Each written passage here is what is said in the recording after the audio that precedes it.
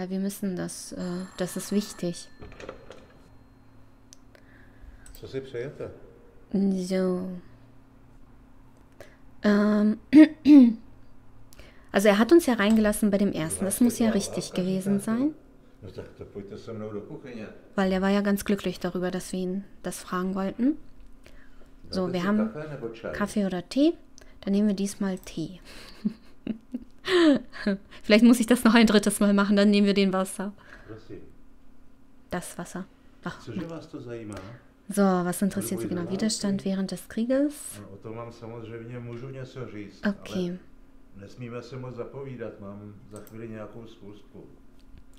So. Jetzt muss ich das andere wählen. No, odboj, to přece Ach so. byla vlastenecká Genau, der redet hier erstmal weiter. 38 jsme chtěli brát. Also ich kann es überspringen. Ah. So, wie haben Sie die Besetzung erlebt? Ich, ich hatte Glück. Mir kamen sie nicht auf die Schliche. Also kämpfte ich schließlich erst beim Prager Aufstand mit der. Waffe in der Hand. Wissen Sie, wo der Prager Aufstand begann? Nein. Huch, ich habe Schluck auf. Entschuldigung. Mm. Oh nein. Sorry. Warum passiert mir das immer in einer Aufnahme? Warum kriege ich Schluck auf? Oh nein, die Zeit läuft. Äh, ich weiß nicht. Samozřejmě Prag hatte man vielerorts natürlich schon vorher demonstriert. Aber der richtige Aufstand begann hier in Vinoradi beim Rundfunkgebäude. Okay. bylo 5. Das war am května, 5. Mai. Damals ahnte niemand von uns, dass es noch ein paar Tage dauern würde, bis Prag befreit ist. Wir belagerten dann die deutsche Besatzung in der Schule am ve Das 500 waren rund zkušených 500 Wehrmachtáků, erfahrene Wehrmachtssoldaten, die mit Maschinengewehren auf uns feierten. Nachdem sie kapituliert hatten, gingen wir den Güterbahnhof in bylo verteidigen. Da war es am schlimmsten. Sie wissen ja von den Gräueln, die sich am Gymnasium za na střet. Prachacha abspielten. Okay. Mm, oh nein. Ich weiß es nicht, was es dort gab. Gab es dort eine Kaserne, eine Hinrichtungsstätte? Boah, diesmal sitze ich natürlich blöd da. Ups, das erste, irgendeine pár stovek Es waren ein paar hundert frisch rekrutierter Burschen, die, obwohl noch keine nebylo 18 ani Jahre 18, alt, schlimmer als die SS waren. Boah. Sie richteten Geiseln hin, nahmen keine Gefangenen und ermordeten am Ende auch unsere. Parlamentarier. Nachdem sie dann aus der Schule abgezogen waren, fanden wir im Keller die Leichen der ermordeten. Gefangenen. Heftig. Äh, aber ich bin wegen etwas anderem gekommen. Oh, ich weiß es nicht. Soll ich das? Oder soll ich einfach sagen, bitte fahren Sie fort? Ich mache mir halt Sorgen, dass wir irgendwie zu sehr vom Thema abkommen. Mm, aber ich frage mal. Äh, mich würde interessieren, was Sie während der Besetzung mit Widerstand gemacht haben. Mich interessiert die Geschichte meines Großvaters. Machen wir das. Ja, den kannte ich natürlich. Kennengelernt habe ich ihn 38. za im mobilizaci. 38er Jahr bei der Mobilisierung. Er meldete sich freiwillig, weil er bisher in keinerlei Militärdienst geleistet hatte. Er konnte nicht einmal richtig mit dem Gewehr umgehen. Aber später hatte sich Großvater doch dem Widerstand angeschlossen, oder? Nein, hat er nicht, das wissen wir ja schon. Großvater schreibt im Tagebuch, dass sie Freunde waren. Also mir hat ihr Großvater ein bisschen leid getan, denn seine Begeisterung war zwar ein wenig kindisch, aber echt. Mhm. Daher nahm ich ihn unter meine Fittiche. Die alten Haudegen lachten über ihn und sagten, na, wenn alle Stricke reißen, wirft Jindra die Flinte weg, nimmt die Klarinette und bläst so stark in sie hinein, dass der Feind die. Flucht ergreift. das ist ja süß. Wissen Sie, ich versuche herauszubekommen, warum Großvater von der Gestapo verhaftet wurde. Und wie ging es dann bei Ihnen weiter? Ich mache dann das Erste. Warum Ihr Großvater verhaftet wurde, haben wir eigentlich nie in Erfahrung bringen können. Oh, nun, ich habe es mit eigenen Augen gesehen, hatte es also, wie man so sagt, aus erster. Hand. Hä? Er weiß es auch nicht? Prag, Vinorade, 27. Mai 42. Als ich mich nach der Nachtschicht ausgeschlafen hatte, ging ich nachmittags in Vinoradi mit dem Hund Gassi. Okay.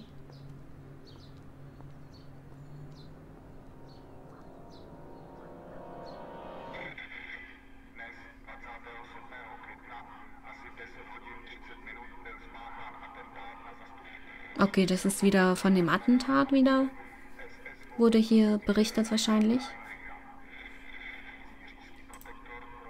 Aber jetzt lassen die Deutschen die Hölle losbrechen.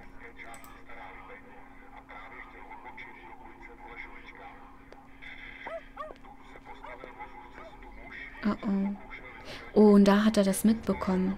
Das nicht. Die Gestapo hat Hindrich, Jindrich verhaftet.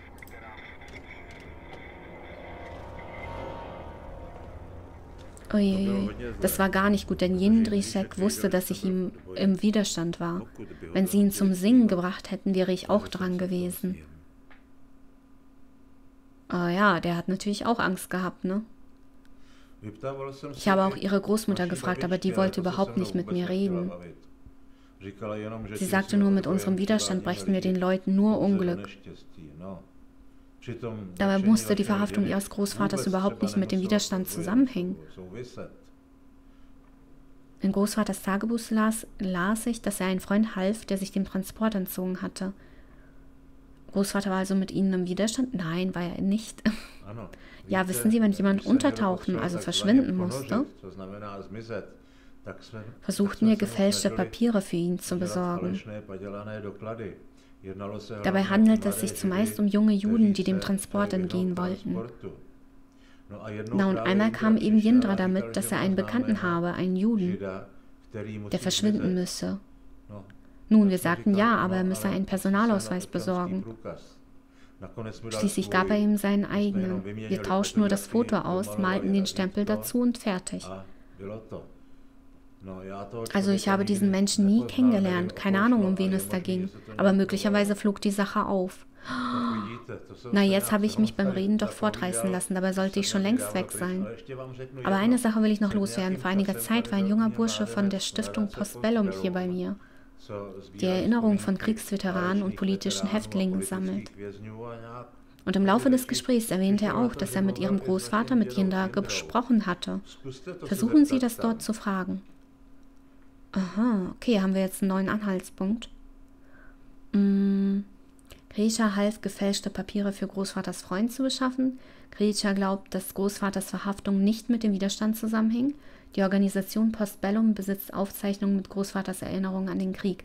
Da werden wir natürlich jetzt gleich weitermachen. Hm.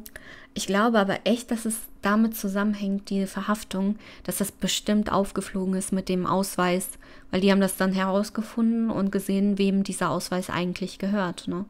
Dann kann man eins und eins zusammenzählen, denke ich mal. Ne? Das ist schon heftig.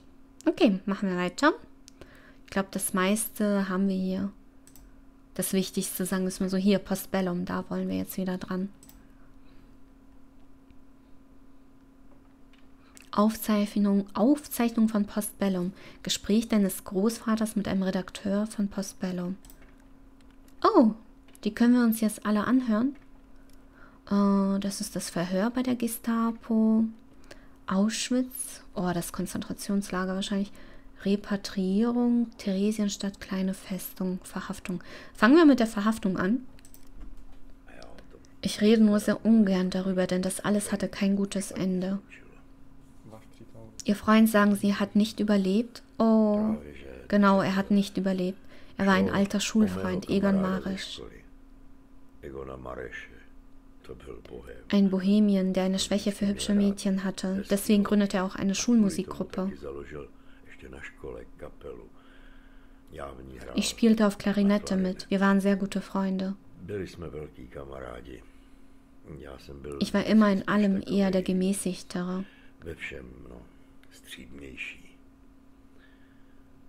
Im Laufe des Krieges verebbte das alles. Ich heiratete und die Musikgruppe löste sich auf. Eigentlich traf ich mich dann auch nicht mehr mit Egon. Irgendwann im Winter 42 traf ich ihn in der Stadt. Er sah furchtbar aus, denn, naja, er war nicht zum Transport erschienen und untergetaucht. Er war Jude, dabei hatte er sich nie besonders als ein solcher gefühlt.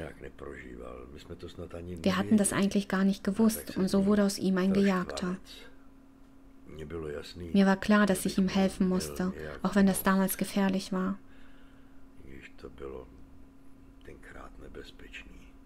žádný Er hatte keine Papiere. Bei einer Kontrolle wäre es also schlecht für ihn ausgegangen. Da kam mir eine fabelhafte Idee. Wegen des angeblichen Verlusts meiner Papiere würde ich zur Polizei gehen und dort neue beantragen. Das habe ich auch gemacht und den alten Ausweis brachte ich zu Greta, Hm. der jemanden kannte, der Papiere fälschen konnte. Egon hatte jetzt also einen Personalausweis mit eigenem Foto.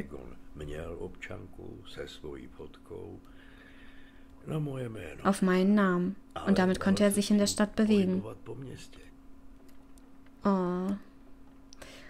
Ja, aber es ist echt traurig. Der hat es also nicht überlebt, ne? Heftig. Okay, machen wir das jetzt, hm, das Verhör oder machen wir erstmal das Verhör? Ich wusste überhaupt nicht, was vor sich geht. Und als man mir dann meine, also Egons Papiere zeigte, fuhr ich zusammen und mir war klar, dass ich jetzt ein Problem hatte. Wissen Sie, was das Kino ist? Im Pecek Palais? Es ist so ein kahler Raum im Keller.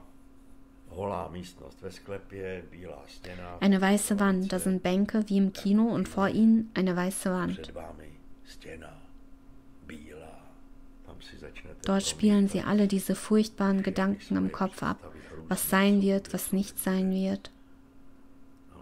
Ja, und dann wird man abgeholt. Mich holte ein Berg von einem Kerl ab. Dann zeigte man mir meine alten Papiere, die ich Egon gegeben hatte. Ich erklärte ihnen, dass sie mir jemand gestohlen hatte. Aber dieser Kerl, dieser Ochse, ging mit einem richtig dicken Stock auf mich los und sagte, es sei sinnlos, etwas zu bestreiten und jemanden zu decken, wenn dieser ohnehin schon tot sei. Aua. Ich wusste sofort, dass ich nichts verraten dürfte, denn dann kämen sie auf Kreta, auf andere Leute und auch auf mich. Daher wiederholte ich immer wieder, dass ich die Papiere verloren hätte. Daraufhin konnte ich nicht mal mehr reden. Immer wieder zogen sie mich aus der Zelle, nahmen mich in die Mangel und schrien mich dabei an, dass sie mich, wenn ich nicht auspacke, hinrichten lassen würden. Zudem warfen sie mir vor, das Attentat gut zu heißen. Aber schließlich bekam sie nichts aus mir heraus. Es war nicht einfach. Sie kamen wohl zu dem Schluss, dass das mit mir nichts wird und ließen mich daher in Ruhe.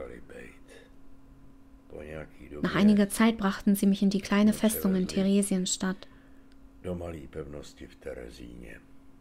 Terezíně.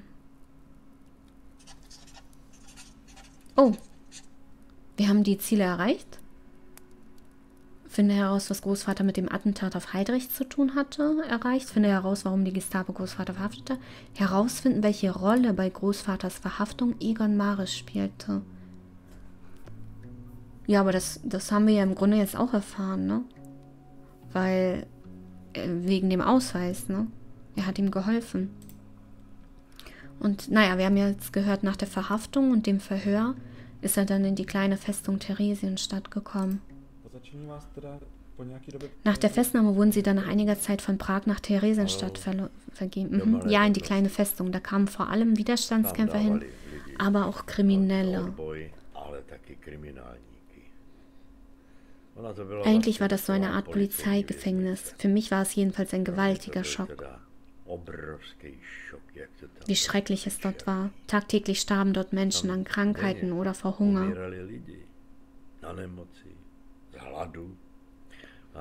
Es genügte auch schon, dass jemandem ihre Nase nicht gefiel. Dort wurden sie direkt auf dem Hof vor den anderen mit Stöcken totgeprügelt oder erschossen. Ich erhielt Zelle Nummer 14. Já jsem dostal celu číslo 14. Das werde ich für immer in Erinnerung behalten. An beiden Wänden waren aus Brettern gezimmerte dreistöckige Stockbetten. Die Zelle war ursprünglich für 40 Personen gedacht. Nur in Wirklichkeit mussten sich dort weitaus mehr von uns reinzwängen.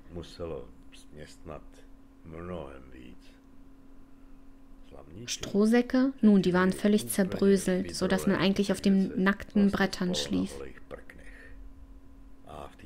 Und in einer Ecke dieser Zelle stand ohne Vorhang stála eine einzige náchodová Toilettenschüssel. mísa a ze zdi Und aus der Wand lugte ein einziger Wasserhahn mit kaltem Wasser. Boah. Die meisten Wächter waren Kriminelle. byli Die. Aufsicht über den Hof hatte ein gewisser Rojko.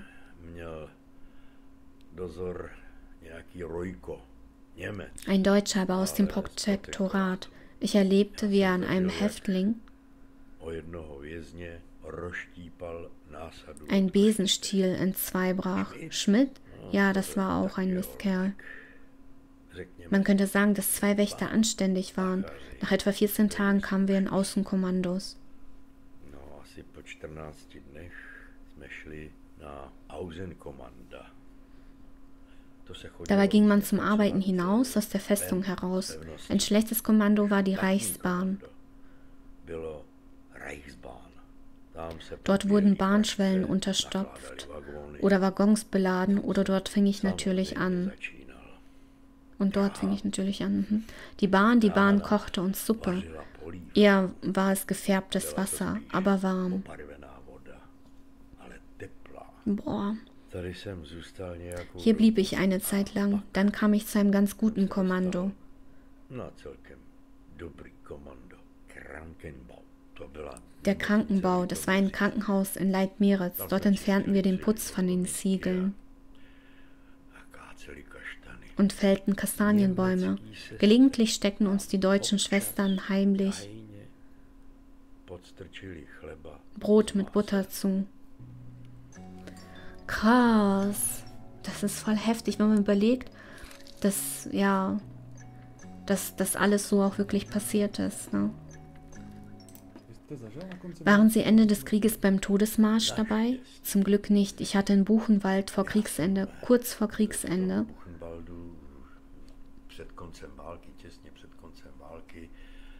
das Glück, krank zu werden und kam daher ins Revier.